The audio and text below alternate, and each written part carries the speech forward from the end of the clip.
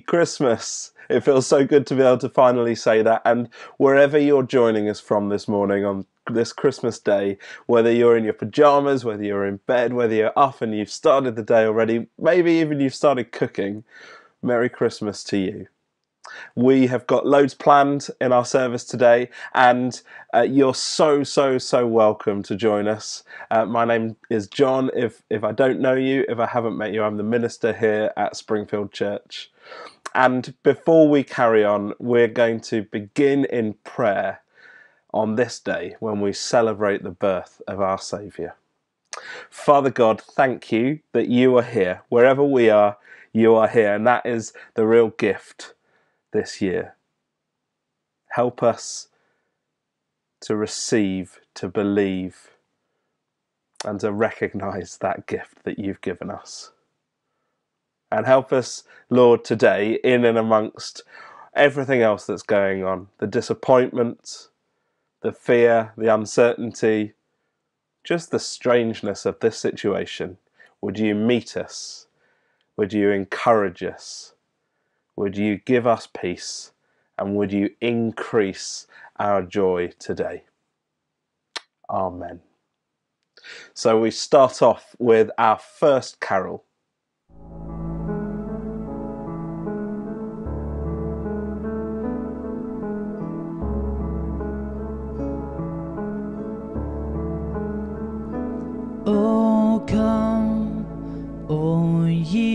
Faithful, joyful and triumphant. Oh, come ye, oh, come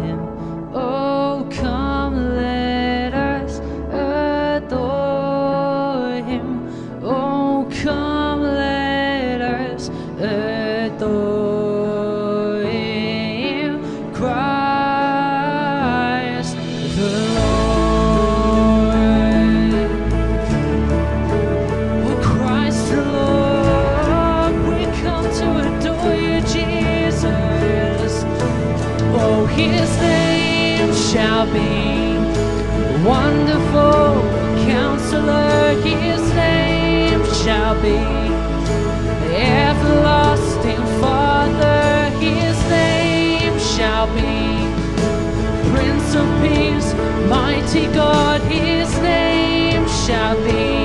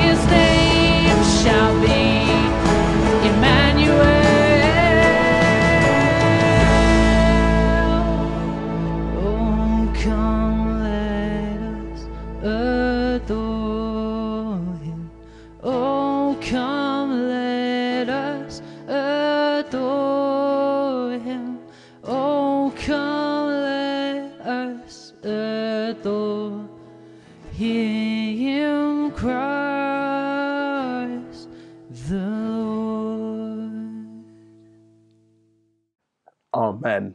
Amen. Now, uh, as always, in fact, I think this happens every year. People are asking, and often they ask, "What do you guys do in the staff team? What, what, how do you manage your time? How do you pass your time?"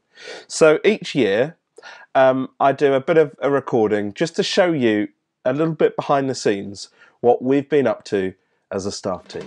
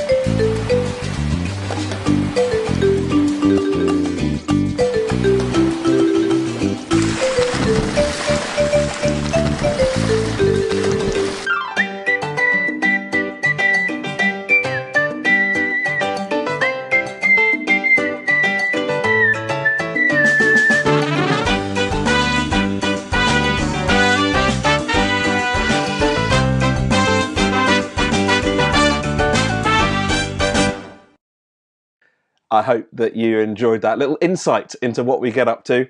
And I want to thank all of those who made that personal dream of mine become a reality. And a particularly uh, honourable mention goes to David for his guitar playing skills. Now, it's that time for our Christmas challenge. And if we were in church right now, if we were in Wally Girls, we'd be having some kind of present wrapping competition or silly game. But I thought, what better way to celebrate Christmas this year than to have the inaugural Springfield Pointless Christmas Challenge?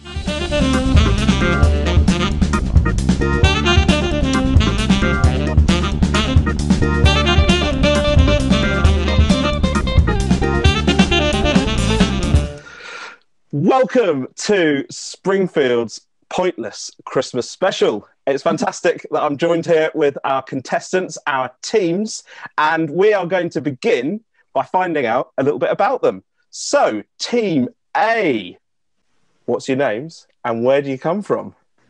Hi, my name is Nick. Uh, I've lived in Wallington now for 40 plus years, um, and I'm married to Jenny. Hi, I'm Jenny. Um, I wasn't born in Wallington, I was born in Egham, but I've lived in Wallington for most of my life too. Fantastic. Thank you, Jenny and Nick. So, the same question to you, Team B, what are your names and where do you come from? Uh, my name is Tony, and uh, originally I come from Malta. Fantastic. I've been here for about 45 years. wow. Uh, my name's Jean. I'm Tony's better uh, other half, and I'm originally from the Wirral, uh, but I've been a southerner since 1970 something. Fantastic. And finally, the same question to Team C. Hi, I'm Nick. Uh, I'm from Wallington, where I lived for nearly 70 years, and then I emigrated to Carshalton. And this is my wife, Chris. Uh, yeah, and I've been here since I was four. Wow. Fantastic. How many years that is? We- we- the idea is I'm going to ask you um, questions and you need to guess a correct answer that was given by as few of the survey subjects as possible. And you can play along at home as well. Are we all ready? Yes. Yeah. So, question one Name one of the 12 days of Christmas gifts. So, name one of the 12 days of Christmas gifts. Now, you can confer, but do put your mute on if, you, if you're going to confer. You can have um, a a minute or so. So, this is the song on the 12th day, on the 11th day, on the 10th day of Christmas, my true love gave to me. So, Jenny and Nick, are you ready to give your answer? Yep. okay, we're going to go for Lord's Leaping. Lords are leaping. Fantastic. Jean and Tony, what was your answer? We're going for maids a milking. Fantastic. And finally, Nick and Chris. We're going for swans are swimming. Swans are swimming. So let's do uh, Jenny and Nick first. So your answer was Lords are leaping. So 19. 19. Well done. That's a very good low first score. Fantastic. So Jean and Tony, you said maids are milking. Maids are milking. 57. 57. Oh, that's that's that's still a good score. It's still a good score. well done. Uh, and Nick and Chris, finally, you said swans are swimming. Now that was correct. The score was 40. 40. Well done. Well done. So after those playing at home, here are the scores. So you could have had any of these answers for the first question. Any of these answers, and this is what you would have scored. Cracking song, 12 Days of Christmas. So after that first round, Jenny and Nick are in the lead with 19, followed by Nick and Chris on 40, followed by Jean and Tony on 57. But it's all to play for. It's all to play for. As we go to round two, name one of Santa's reindeer. Now, the caveat here is any of the eight original reindeers, so not Rudolph, according to the 1823 poem A Visit from St. Nicholas, which first named them. Okay, we are totally in agreement for a change. And we're going with Prancer. Or Pr- Prancer. Prancer. Prancer. Excellent. Excellent. Nick and Chris So we'll go with Dasher. with Dasher. Okay. And finally, Jenny and Nick. Yeah, we're going with Cupid. Cupid. Excellent. So, Jean and Tony, you went with Prancer. That scored 33. 33. another good score. Nick and Chris, you went with Dasher, and that scored you 28. Ooh. And Jenny and Nick, you went with Cupid. 44. So it's closing up a bit. Um, I'm not going to tell you the running scores at the moment. We'll get to that after round three. But it's getting close. Right. Um, and here are the answers uh, for those questions. Um, if you're playing along at home, and you can add up your score as well. Fantastic. Right. Round three. Name a prophet who has a book of the Bible named after them. So, name a prophet. I need you to give me the name of a prophet who has a book of the Bible named after them. Okay. Are you ready, Nick and Chris? We, we're going to go with Zephaniah. Zephaniah. Okay. Thank you, Nick and Chris. Jenny and Nick, your turn Uh, we're going to go with Joel. with Joel. Okay. And Jean and Tony. Amos. Amos. Okay. Nick and Chris, you went first and you said Zephaniah. I can tell you that was right. And that scored you two points. Ooh. What about Zephaniah? Zephaniah. Whoa. Jenny and Nick, you went next and you chose Joel, which was correct. And you scored seven Jean and Tony, you chose Amos, you were correct, and you scored nine. Nine points. So all single figure, figure answers. Amazing. Here are the answers for you guys at home. Hopefully, you got some of these. There were some uh, questionable answers that, that were allowed, but uh, there you go. So, on to the final round. Name someone who God or an angel speaks to in the early chapters of Matthew or Luke. So, name someone who God or an angel speaks to in the early chapters of Matthew or Luke. And by the early chapters of Matthew and Luke, we're talking about the Christmas story, the Nativity story. So, it's the Nativity story we know well. We've seen acted out this year. We've seen different characters looked into how God was preparing them um, for him to move for the birth of Jesus. Are you ready to give me an answer, Jean and Tony? As ready as we'll ever be. Excellent. Zechariah. Zechariah. Um, Jenny and Nick. Yeah, we're going to go for the shepherds. The shepherds. Okay. That's too They, they were our first two gone. oh no! Oh dear. Well, Kristen, have you got a third choice? I'm going to go for Simeon. Simeon. Mm. Jean and Tony, you went first, and you chose Zechariah, and Zechariah scored you twenty-five points. Twenty-five points. Mm. Jenny and Nick, you went next, and your answer was the Shepherds, and you scored nine points. Nick and Chris, you went last. Your two answers that you would have chosen had gone already, and you chose Simeon.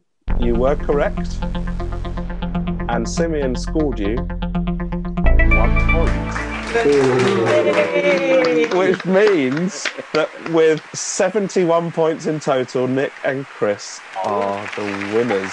Closely followed by Jenny and Nick, and closely followed again by Jean and Tony.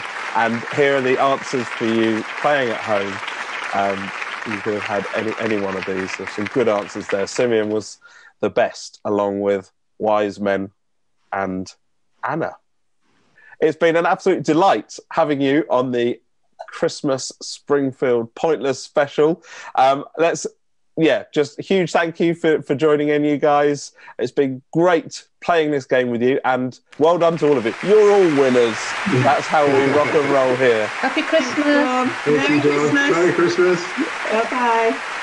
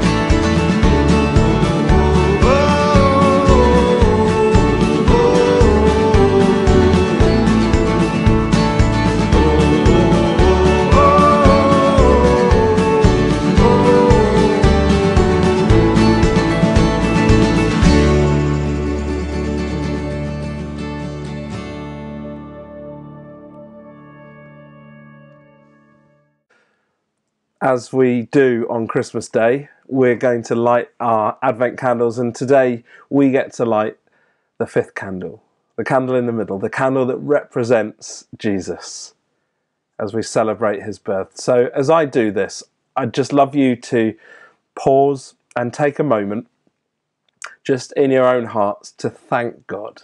Thank God for his gift of Jesus coming into the world. And just ask him, Lord, prepare me for what's next, even amongst everything that's going on. Would you prepare me? Prepare me for what you have planned. Prepare me for what you want me to do. Prepare me for what you're going to do, Lord.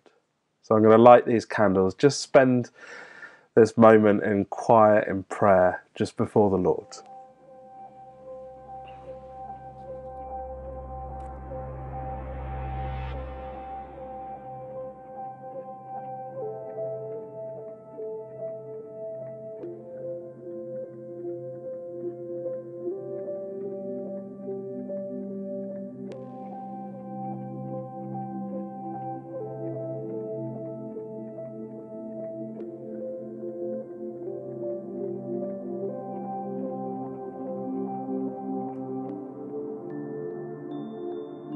Father God, thank you. Thank you that today, amongst everything else, we remember that you loved the world so much. You loved us so much that you sent your one and only Son to live amongst us, to die for us, and to be raised to life for us. Thank you, Lord.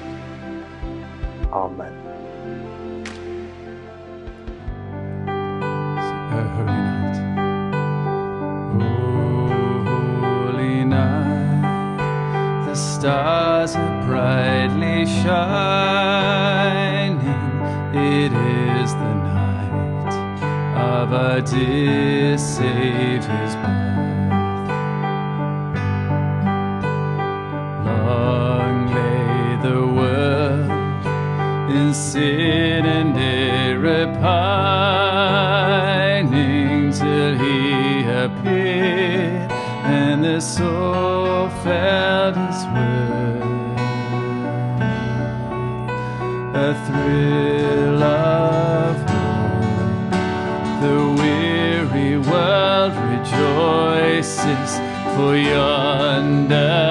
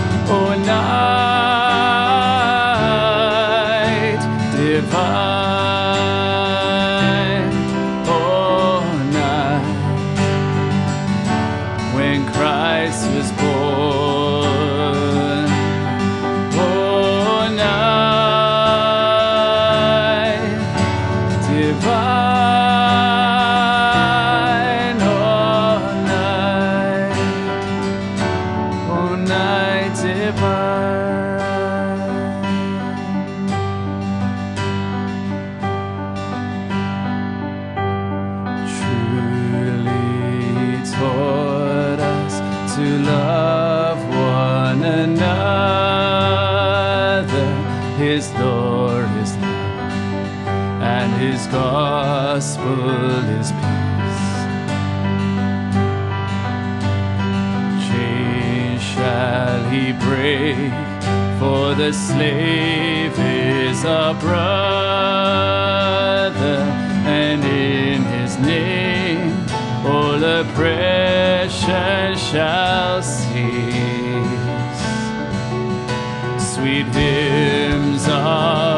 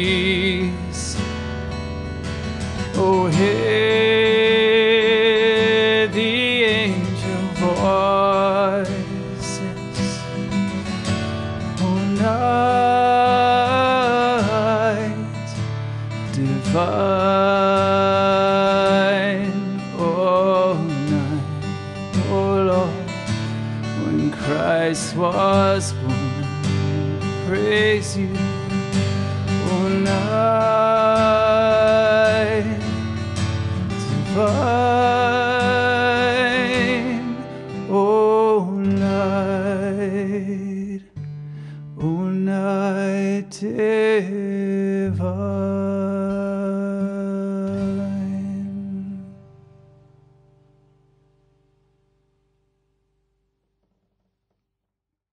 John 1, verses 6 to 14.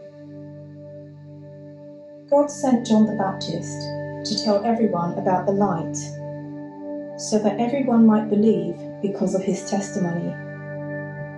John himself was not the light, he was only a witness to the light. The one who is the true light, who gives light to everyone, was going to come into the world. But although the world was made through him, the world didn't recognize him when he came. Even in his own land and among his own people, he was not accepted. But to all who believed him and accepted him, he gave the right to become children of God. They are reborn. This is not a physical birth resulting from human passion or plan. This rebirth comes from God. So the Word became human and lived here on earth among us. He was full of unfailing love and faithfulness. And we have seen his glory, the glory of the only Son of the Father.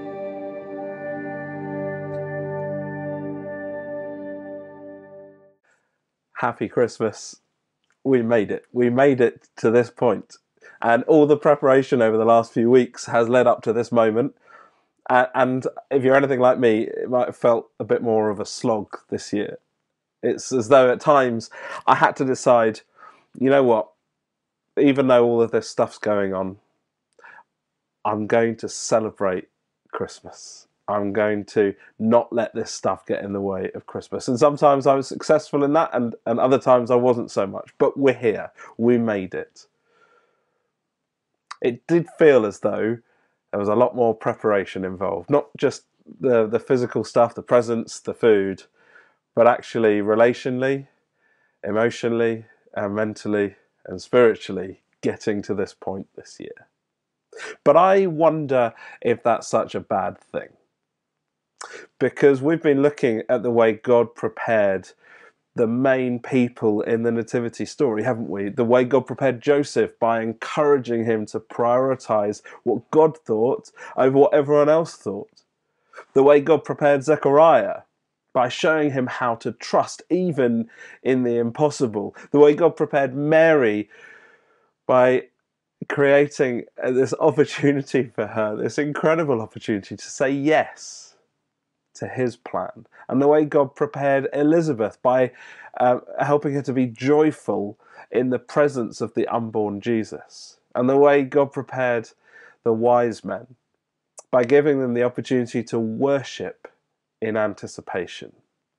All, all of them prepared for God to move, and it was difficult, and they had to make leaps of faith and some sacrifices. But then God moved.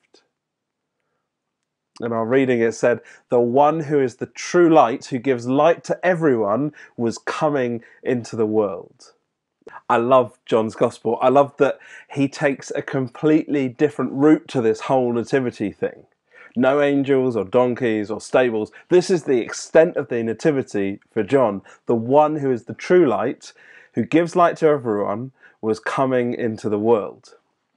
I bet John was a right laugh at parties because you'd be talking about the camel racing or the weather, and people would be talking about their own experiences and their views on who was going to win the next race and what the weather was going to be like tomorrow. And then John would just pipe up with something completely left field about light or life. He loves those things. Or maybe one of his dreams, one of his revelations about seals or scrolls or dragons.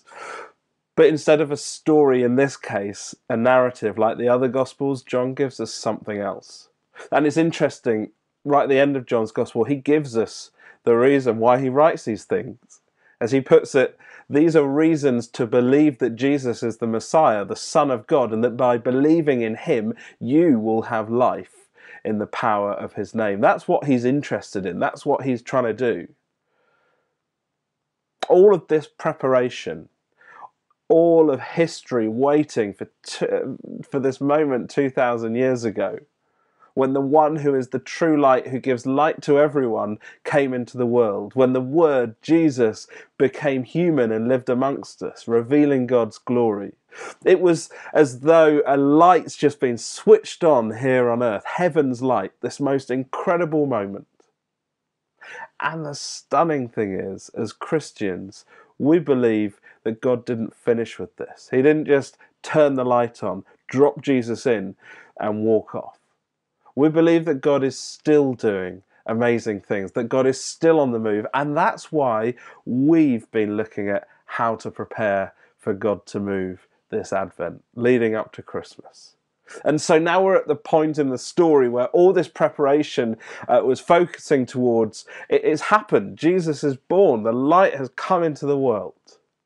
So, what do we do with this? How can we learn how to prepare for what God is going to do in our lives individually, together as a church?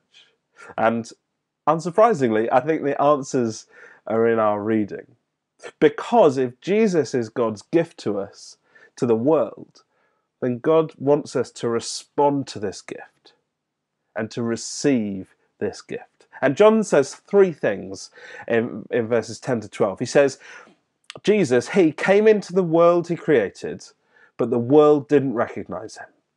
He came to his own people, and even they rejected him. But to all who believed in him and accepted him, he gave them the right to become children of God. So, how can we prepare for God to move in our lives? It's quite simple. Number one, recognize the gift that Jesus is. The world, John says, didn't recognize Jesus. That's the whole problem. He wasn't quite what they were expecting. They, they were hoping for a king, a savior, a warrior, and this little baby turns up. And you know, we can miss the gift of Jesus quite easily. I, don't know um, if, if your family has this, this tradition, but over the last few years, um, when, when we've met together as a big family, we would throw all of the presents under the tree and then when we met together, um, normally uh, on Boxing Day or a bit later, the, the little the, the little kids would go and grab the presents and give them to people. It took absolutely ages, but but it was great. But there were always two or three little gifts just left at the end of this process that had kind of been forgotten about, and everyone was a bit tired uh, or hungry or both. And normally these were the little the the, the smallest uh, the gifts, the ones that have been wrapped by me, wrapped badly, or, or the ones that just kind of just faded into the background that people didn't kind of take any notice of. They were left there and forgotten about. And it's so easy to do that with Jesus, to forget that this little baby is the Son of God, the King of Kings and the Lord of Lords, to be confused about whether this story is even real or not, or to question that in this world of darkness, and it's so dark right now, whether this light has come into the world. But that's why John wrote these words. That's why God has given us the Bible to remember and to recognize the gift that Jesus was and is. So don't miss that. Don't miss that Jesus is a gift. That's number one. The second way we prepare is by believing that Jesus is the gift for us, that he is who he says he is.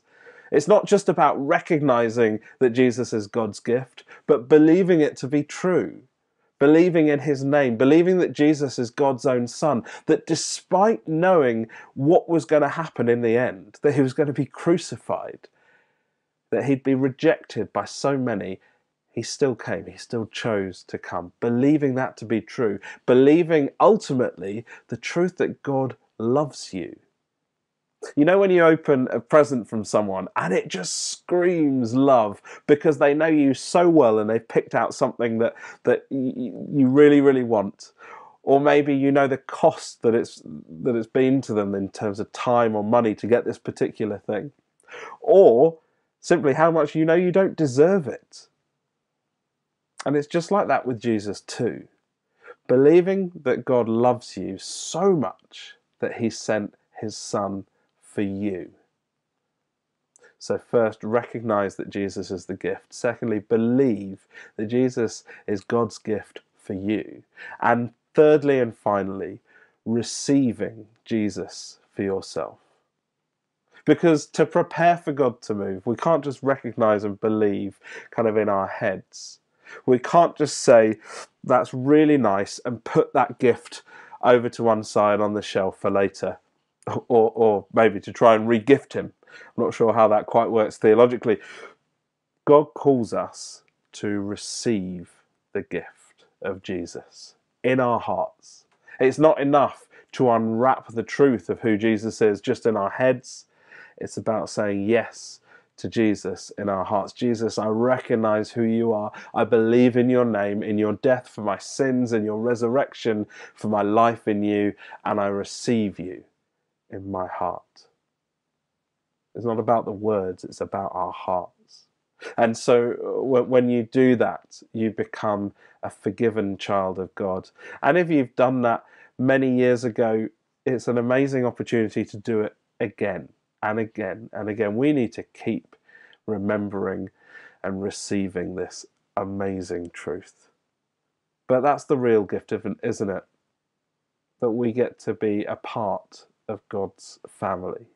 And so this Christmas, I want to encourage you amongst all the mess of our world, amongst all the disappointments of this year, and amongst everything else that you have planned for today, prepare for God to move. He moved powerfully, wonderfully, beautifully 2,000 years ago, and He's still on the move today. And we do that by recognizing Jesus as God's gift, by believing that Jesus is God's gift for us, and receiving the gift of Jesus, the gift of life, of forgiveness, of hope, of peace, of relationship with God into our hearts with faith. Why don't you pray with me? Lord God, we thank you. We thank you for that moment in Bethlehem. We thank you for this moment now. Help us to recognize your gift of Jesus for us, for me. Help me to believe that you love me so much, Lord, that you sent your one and only Son for me. And in this moment, amongst everything else, help me to receive, maybe for the first time, maybe it's been a long time since you've done this. Or maybe you just need to start this day off well to receive Jesus afresh. Amen.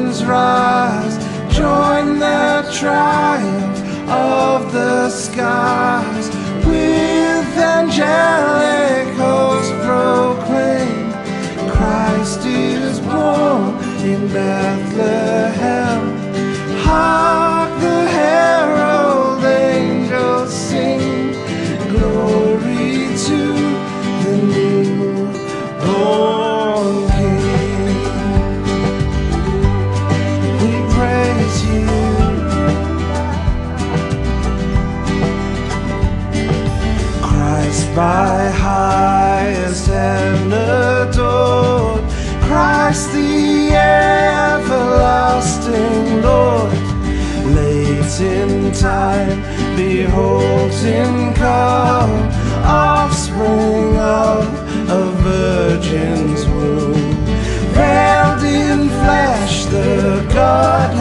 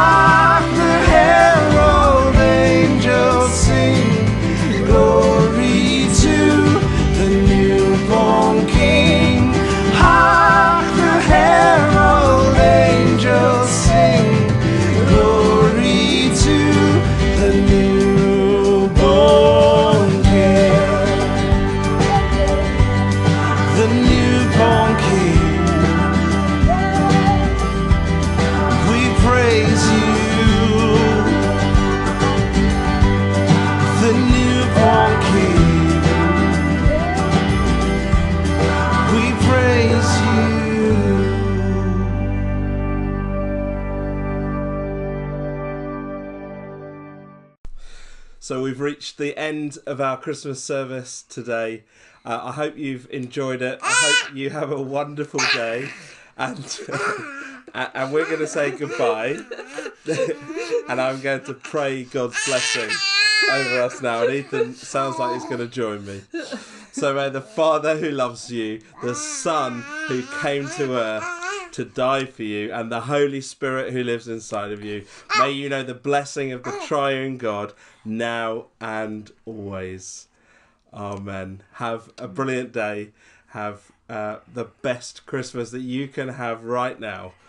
And we'll see you soon. Bye-bye. Bye.